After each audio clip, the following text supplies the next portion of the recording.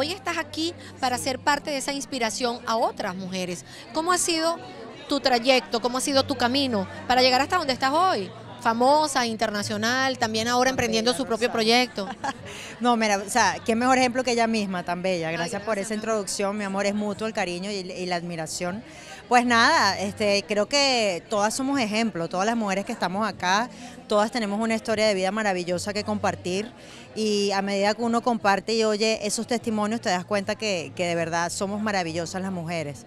Y pienso que este tipo de evento es más maravilloso porque en la unión está la fuerza.